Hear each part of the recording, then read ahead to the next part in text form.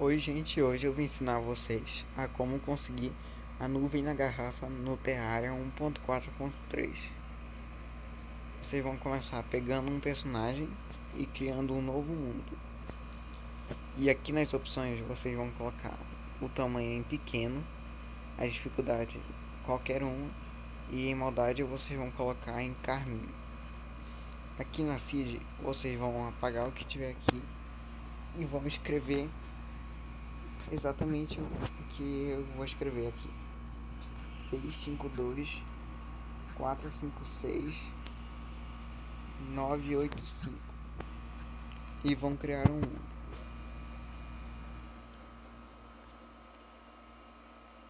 Aqui para ser mais rápido eu vou cortar com o potencial de edição. Pronto, gente, já está terminando aqui. Só falta mais um pouquinho.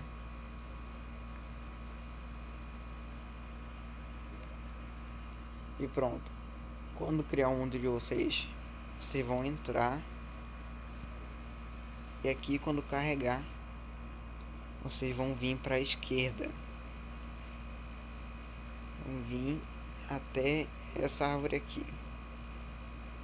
E daqui vocês vão cavar para baixo.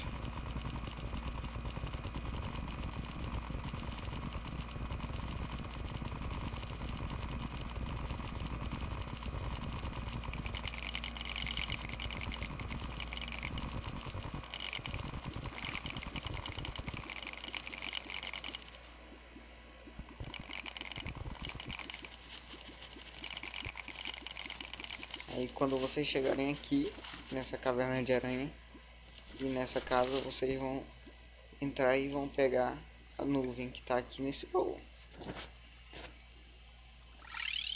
Gente, essa nuvem ela serve para fazer para fazer o, a nuvem no balão, eu acho que, acho que é assim o nome, que dá para vocês fundirem com outros balões e fazer um conjunto que dá para vocês darem três, três pulos duplos.